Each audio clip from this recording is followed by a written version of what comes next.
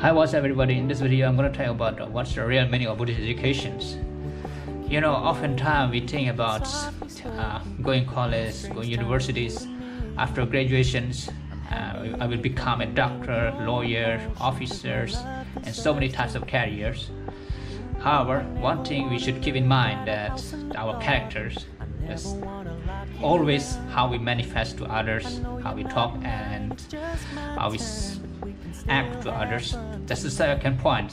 After your qualifications, you need to keep in mind that our behavior is so important.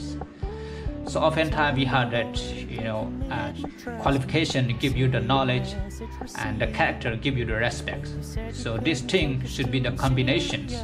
Your qualification and the career characters should be the combinations so that you can be a very knowledgeable person and a very compassionate person and you are a very good person and people will respect you and people will very honor you because of your knowledge and uh, your characters.